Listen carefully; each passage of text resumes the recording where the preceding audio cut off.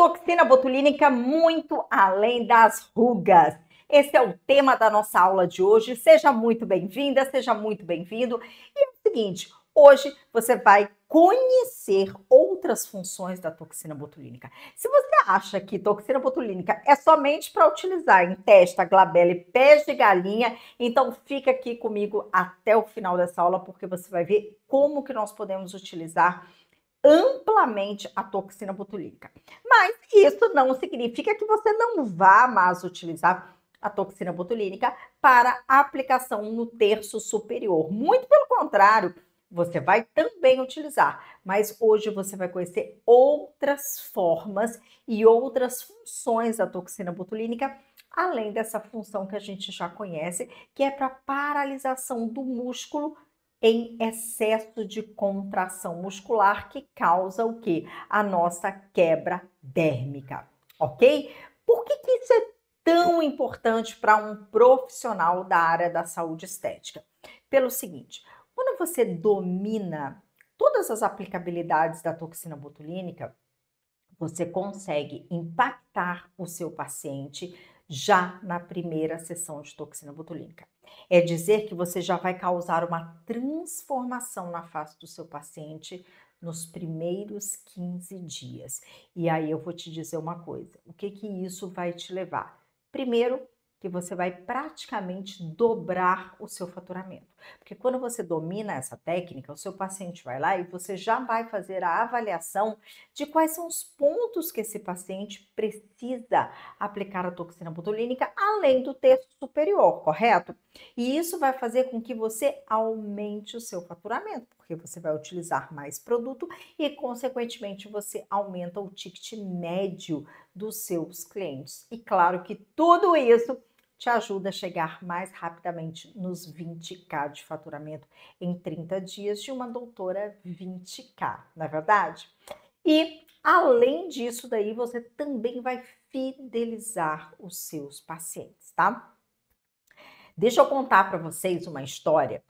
Quando eu iniciei na, na área né, de injetáveis, na área de harmonização, eu me lembro que eu estava realizando até a minha primeira pós-graduação.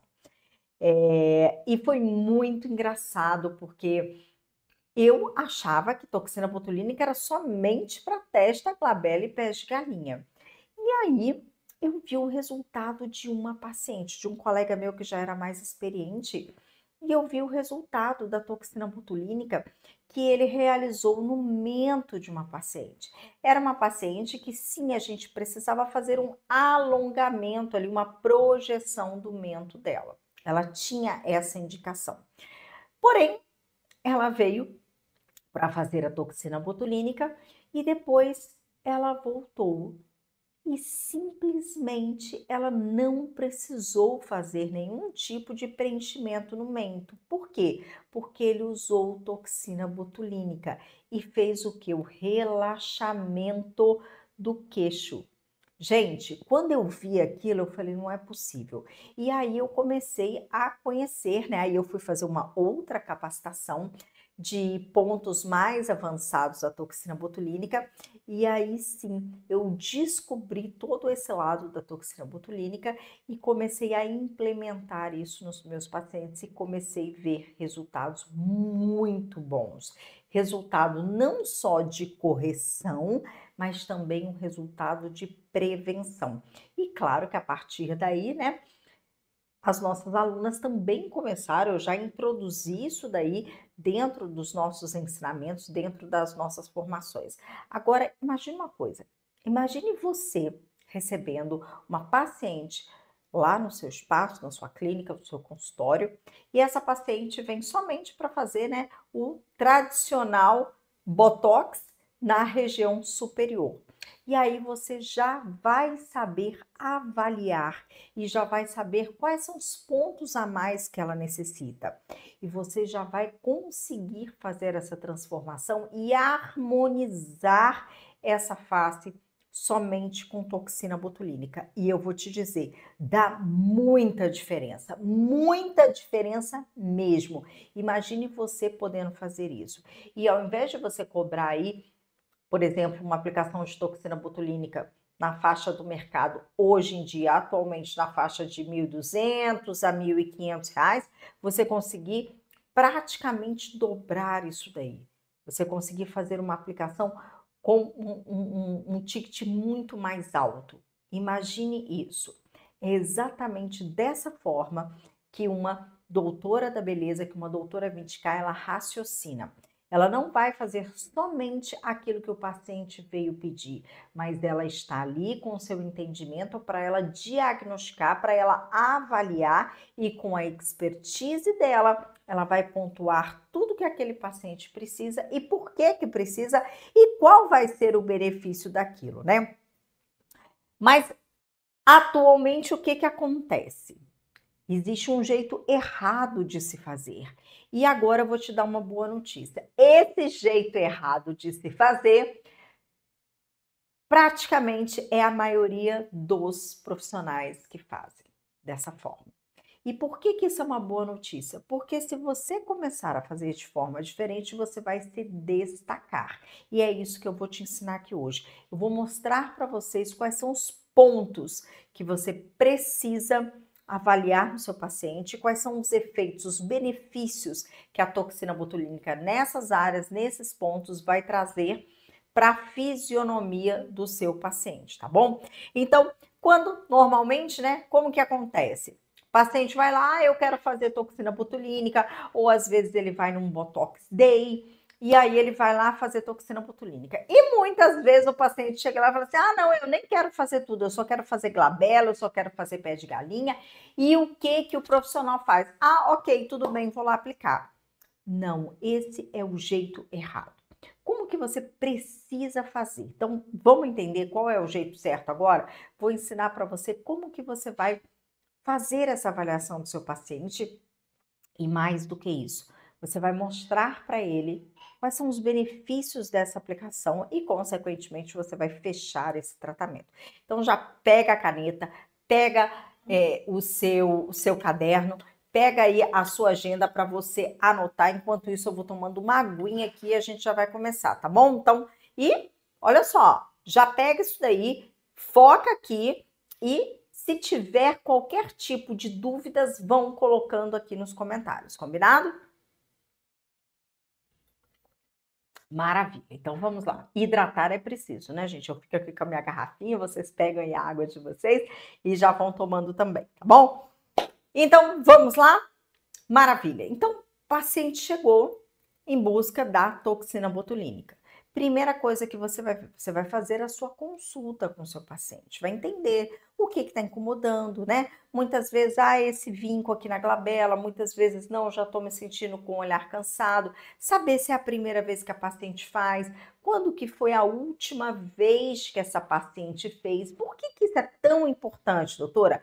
Porque nós precisamos ter aí um intervalo mínimo de quatro meses, tá bom?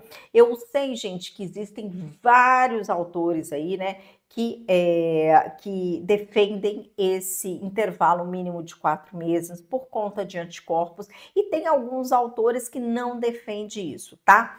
Eu, doutora Adriana, eu respeito esse intervalo de quatro meses do meu paciente. Eu não repito uma toxina botulínica, eu não aplico a toxina botulínica antes de quatro meses. Até por, por isso que vocês de vez em quando me veem sem toxina, ó, agora mesmo eu tô sem toxina, tá? É, por quê? Porque a minha toxina ela dura muito pouco. A minha toxina ela dura 60 dias mais ou menos. É, e eu não é, faço antes de quatro meses ok? E agora também até tive dengue agora há pouquíssimo tempo, então eu tô aguardando aí dar uma, uma liberada, de, de uma desintoxicada para aplicar novamente, tá bom? Então, tudo isso é muito importante que você veja na anamnese do seu paciente. Ah, paciente teve dengue, vamos esperar um pouquinho. Paciente teve Covid, espera pelo menos uns 15 a 30 dias para você fazer a aplicação. É, vacinas também. Por quê, gente? Porque a gente está falando de uma neurotoxina. É uma dosagem básica, é, baixa? É, mas eu sou uma profissional muito cautelosa e eu sempre recomendo isso para as minhas alunas e a gente nunca teve problema. Então, eu recomendo sim que seja é, que seja aplicada com cautela, tá bom? Então, durante toda essa consulta, você vai conhecer essa paciente ou esse paciente. E aí, o que, que você vai fazer? Você vai começar a fazer a avaliação clínica desse paciente. Então, primeira coisa, você precisa fazer uma classificação muscular. Como que é isso? Tem que entender se esse paciente é um paciente hipercinético, hipocinético, normocinético, como que é a movimentação muscular dele. Qual é a rotina dessa paciente? É uma paciente que ela malha, ela, ela levanta muito peso, ela demanda muito do músculo dela. Toda paciente que treina muito forte, e aqui no Rio de Janeiro, gente, é, as mulheres treinam muito forte, levantam muito peso, tem músculo, né? Então tem é, uma, uma um perfil de mulheres aqui que é muito característico, tá? Dessa forma. Então, esse tipo de paciente, eu já até é, já até antecipo. É um paciente que vai ter menos durabilidade de toxina botulínica, porque é uma paciente que demanda mais os músculos. Uma paciente que não treina, uma paciente que não é tão expressiva, uma paciente é, ela vai ter mais durabilidade do efeito da toxina botulínica. E aí vocês podem perguntar, né? Mas como assim? Mais durabilidade do efeito? Tem toxina que dura mais, tem toxina que dura menos? Olha só. A durabilidade da toxina, ela não se dá pela marca. A durabilidade da toxina, ela vai se dar por dois fatores. Primeiro, dosagem correta, porque se você utilizar uma subdosagem, uma dosagem muito baixa, você sim vai ter uma pouca durabilidade dela e também vai depender do metabolismo do paciente. Então, se eu tenho um paciente que tem um metabolismo que demanda muito o músculo, eu vou ter uma movimentação muito mais rápida. Por quê? A toxina botulínica, uma vez que ela cliva a SNAP25, que é uma proteína, ela vai ali já ter o seu efeito imediato e irreversível. Ah, ok, entendi. Então, por que, que a gente volta a movimentar? A gente volta a movimentar porque o nosso corpo é extremamente inteligente. O nosso corpo, quando a gente paralisa algo dele, ele começa a criar ali uma compensação do outro lado. É mais ou menos, olha, quando a gente quer arquear a sobrancelha, tá? A gente tem inclusive uma aula aqui no canal sobre isso. Eu vou colocar toxina botulínica bem na minha porção central, minha porção central do frontal. Por quê? Porque quando eu paraliso essa porção central, as minhas porções laterais, elas vão fazer um movimento maior. E aí eu já tenho já um arqueamento da minha sobrancelha. Tudo bem? Claro que a gente tem outros pontos ali para arquear a sobrancelha, inclusive a gente vai ver daqui a pouquinho, tá bom? Os pontos avançados. Mas eu tenho uma compensação. Então, quando eu faço uma paralisação ali dos meus músculos, involuntariamente nós vamos demandar movimento desse músculo. É normal, gente, não adianta. A gente fala, ó, olha só, falo, ó, sabe, faço expressões, então eu vou demandar involuntariamente os meus músculos.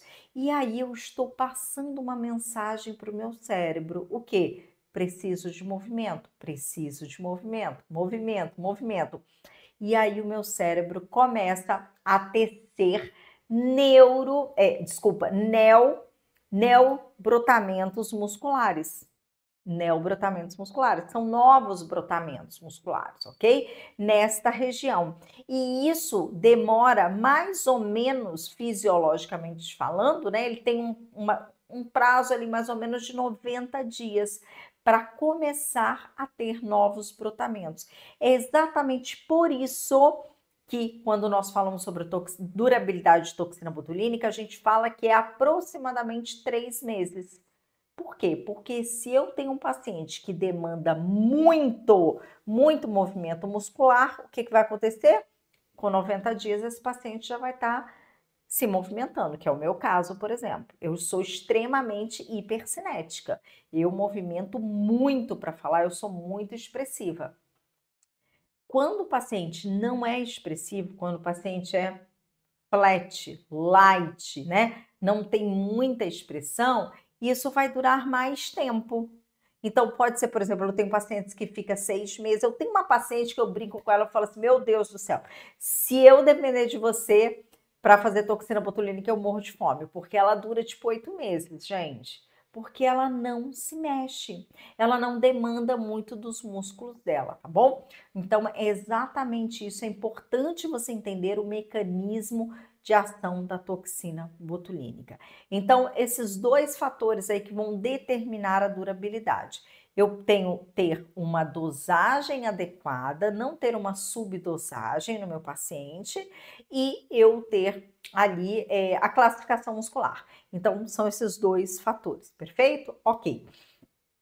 Feito, entendido isso, né? Então, aí a gente vai para a avaliação. Vamos avaliar esse paciente vamos entender onde ele precisa de toxina botulínica. A maioria dos pacientes que vão nos procurar, eles precisam de toxina botulínica no terço superior, né? Aí, nós estamos falando de quê? De paralisação de movimento, onde vai trazer o quê? Um congelamento e eu vou parar a minha quebra térmica. Isso é como nós tratamos as nossas rugas dinâmicas. Agora, qual é a outra função, então, além das rugas da toxina botulínica. É agora que a gente vai entrar na parte avançada, ok? Então, quando nós falamos de toxina botulínica, além desses, vamos lá, vamos começar a desenhar aqui para vocês entenderem direitinho. Vou desenhar em mim mesma, tá, gente? Então, vamos lá. Quando a gente fala, né? Então, terço superior, vamos lá, terço superior. Esperar minha canetinha funcionar aqui terço superior. Então, eu vou, olha só, região de glabela, região de glabela, perfeito? Acho que essa canetinha aqui não tá indo bem. Peraí, gente, deixa eu pegar outra canetinha aqui. Bom, agora sim, vamos de cor de rosa então, hein? Vamos de pink. É, perfeito. Então, vamos começar pra, pela região de terço superior, ok? Então, olha, região de glabela, né? Toda a região de glabela, região de corrugadores, corrugador e supercílio, perfeito? E aí toda a região de terço superior, tá? Gente, vou marcar aqui aleatoriamente, só para gente identificar, perfeito? Ok, agora região de pé de galinha, região de ruguinhas periorbiculares, tá? Região de periorbiculares. Perfeito. Agora, todos esses pontos aqui são os pontos que eu vou trabalhar rugas. Agora, quais são os pontos que eu não vou trabalhar rugas, que são os pontos avançados? Então, vamos lá, olha só. Quando eu quero fazer um levantamento, um arqueamento de sobrancelha. Então, eu tenho é este ponto aqui, ok? Esse ponto aqui, ele vai fazer com que o meu músculo orbicular, que está abaixo do osso, ele relaxe. Olha, por quê? Porque os nossos músculos esfíncteres, eles têm a tendência, os nossos músculos orbiculares, eles têm a tendência de contrair. E tem muita gente que tem esse músculo com a sobrancelha abaixo do osso. Então, a gente faz este ponto aqui para relaxar o meu músculo e a sobrancelha sobe. Eu tenho esse outro ponto aqui, olha, na cauda da minha sobrancelha, que também vai relaxar. E aí vai dar esse efeito aqui. Perfeito? Ok. Região de nariz. Nariz eu também posso colocar toxina botulínica. Sabe, olha, olha só, essa ruguinha aqui, ó, do coelhinho, a gente vai colocar aqui, olha. Também, tá? Estamos falando de ruguinha, também posso colocar aqui em cima. Agora, eu também consigo afinar o narizinho com a toxina botulínica. E qual caso que eu vou colocar, que eu vou, né, propor para o meu paciente? Sabe aquelas pessoas que quando conversa, a narina ela abre e fecha, abre e fecha? você pode resolver isso. De que forma? Você vai aplicar exatamente aqui, olha. Olha só, asa de nariz, tá vendo? Esses dois pontinhos aqui, você consegue fazer com que essa narina, ela fique ali, olha, mais fininha, ela não abra, ok? Outro ponto bem importante, quando eu quero afinar todo o narizinho, eu posso colocar aqui e aqui também, olha. Eu consigo afinar a ponta do nariz. Perfeito? Quando eu tenho o narizinho que vai para baixo, muita gente, né, quando conversa, quando sorri, o nariz aponta para baixo. E aí você tem o pontinho aqui, ó, na columela. Esse ponto na columela. Então você vai no músculo aqui e você vai paralisar o músculo. Então quando a pessoa sorri, quando a pessoa falar, ela não vai o nariz não vai apontar para baixo, ok? Outros, outro ponto bem importante aqui, muito utilizado, é do sorriso gengival. Então, o sorriso gengival, olha, aqui. Esses dois pontos aqui. Então, aquela pessoa que quando sorri, ela mostra a gengiva. Então, quando a gente faz a toxina aqui, olha, no levantador, músculo levantador do lábio, a gente consegue diminuir ali o sorriso, né? Só que tem que tomar muito cuidado para você não travar o sorriso do paciente. Então, você tem que ter um domínio ali da anatomia bem importante, tá bom? Sorriso triste. Muita gente, né, ó, faz isso, estão vendo? Ó, Sorrisinho triste? Sorrisinho triste. Então, a gente vem aqui, ó. Músculo depressor da boca.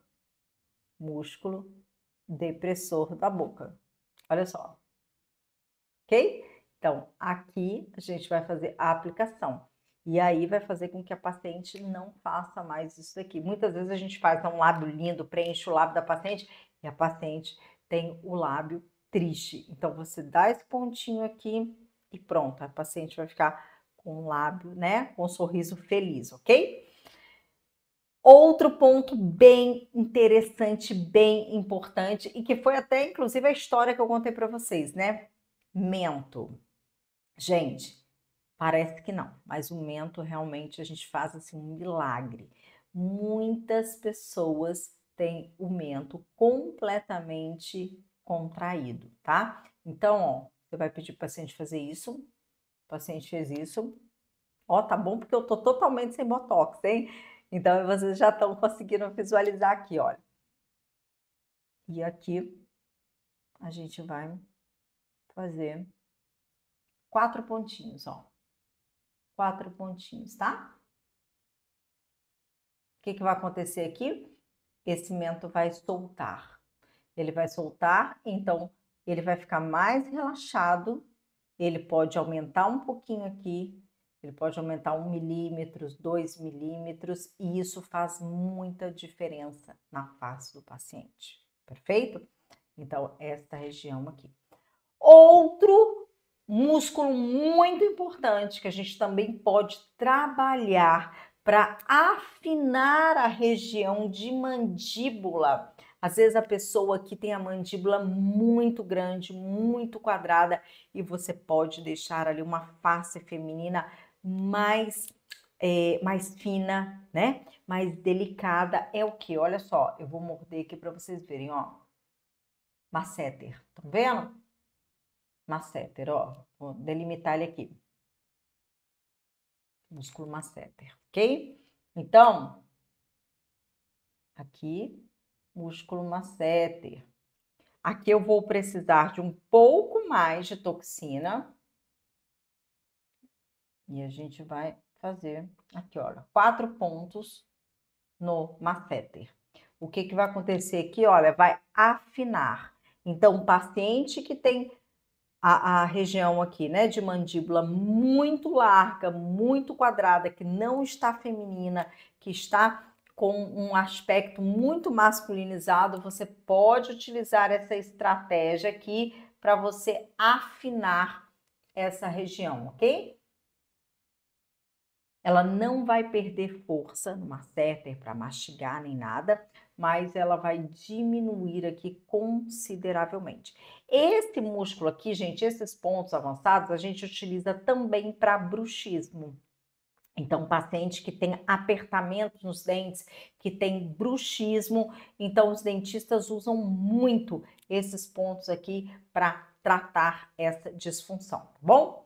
Bom, continuando aqui, gente, vou fazer do lado de cá. Continuando aqui, nós temos os pontos do Cotofana, que é o anatomista maravilhoso, né?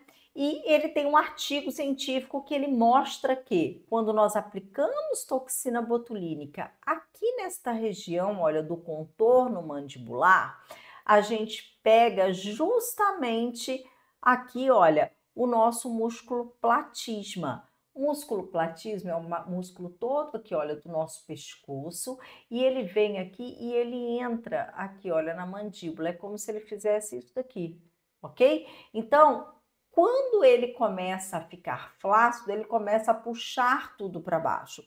Então a gente começa a ter o que? Uma flacidez, a gente começa a perder a, o contorno de mandíbula e começa inclusive interferir aqui, olha, no jaws. Então começa-se o que? Aparecer aquela flacidez e o jaws sendo puxado para baixo.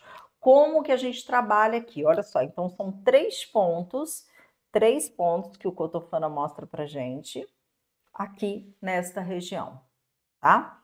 Então, depois do masseter aqui, três pontos de toxina botulínica. Ele vai relaxar o músculo, então o músculo vai parar de tracionar aqui, olha, trazendo a face para baixo.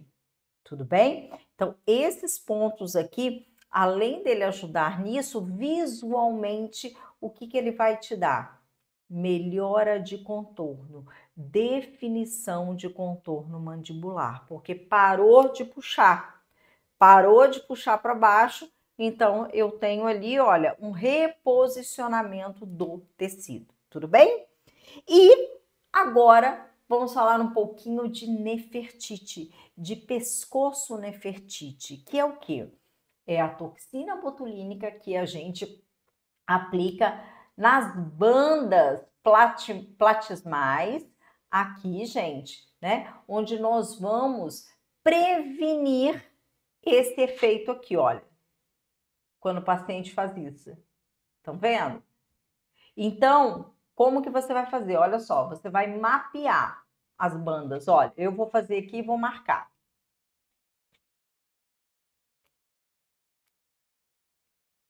Estão vendo? E isso, gente, é personalizado, tá? Cada paciente vai ter a banda de uma forma. E aqui você vai fazer toda essa aplicação. Ó. No meu caso aqui, ó, uma, duas, três, quatro bandas, ok? A gente vai fazer a aplicação aqui também de toxina botulínica. Então, esses pontos que eu estou mostrando aqui para vocês são pontos avançados e são pontos que nós utilizamos, né? Que não são pontos de rugas, são pontos para quê? Para reposicionamento do meu tecido, para reposicionamento do músculo e para melhorar aí a harmonia da face, ok? Então, quando nós começamos a trabalhar com esse tipo de é, procedimento mais avançado, você passa para um outro nível como harmonizadora. Você já começa a entregar esse plus para o seu paciente, porque uma vez que essa paciente vier e ela fizer a toxina botulínica completa, ela nunca mais vai fazer a toxina botulínica somente testa, glabela e pé de galinha. Por quê? Porque ela entendeu que a face dela ficou diferente. Ela teve uma harmonia diferente, porque você utilizou nos pontos corretos, ok? Doutora, preciso fazer todos esses pontos em todos os pacientes? Não. Por isso que eu te expliquei cada um deles, qual é a função e qual é o efeito deles. Então, você vai avaliar a sua paciente. Você vai ver, né? Ah, mas a minha paciente ainda é jovem. Se é uma paciente jovem, ela ainda não está apresentando, né? Esse tipo de. É, de envelhecimento, quais são os pontos que eu recomendo, mesmo a paciente sendo jovem, tá? Então, nesse caso, eu recomendo que você faça mento, ok? É, região, pontos do cotofana e pescoço. Claro, além do terço superior, tá? Então, paciente é jovem, ainda não apresenta. Por quê? Você vai fazer como prevenção. Vai fazer como prevenção ok? Agora, paciente ah, já tem o narizinho maiorzinho, eu quero melhorar, já está apontando para baixo, enfim, aí você vai fazer esses pontos de correção, ok? Pessoal, então é o seguinte, olha, acho que ficou claro, né? Se você tiver alguma dúvida, deixa aqui nos comentários as suas dúvidas que eu vou adorar te responder. E é o seguinte, se você tiver algum tema que você queira também que eu faça uma aula especial para você, deixa aqui para mim nos comentários que a gente também coloca na nossa lista de produções, ok? Então é isso aí, a nossa aula de hoje vai ficando por aqui. Um grande beijo e até o nosso próximo vídeo.